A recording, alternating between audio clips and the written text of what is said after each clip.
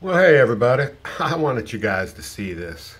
These are my screens on the back porch, and they are just covered with flies. I mentioned them in my early videos, so that's why I thought, well, this is why puppies didn't spend a lot of time outside. If these things are, and it was only in the 60s today.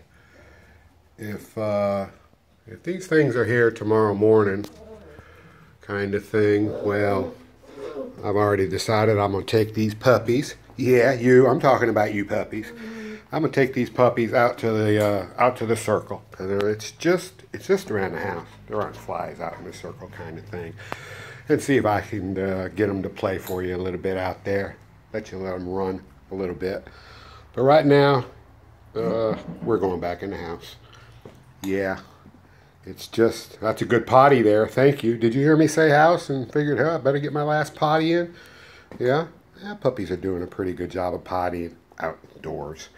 Yeah, I've got them on a timer, so and it should be instantaneous. So yeah, as soon as I put them out here, and uh, I fed them out here, kind of thing. So yeah, pretty good job of pottying. Anyhow, let me get them back inside. Talk to you guys tomorrow.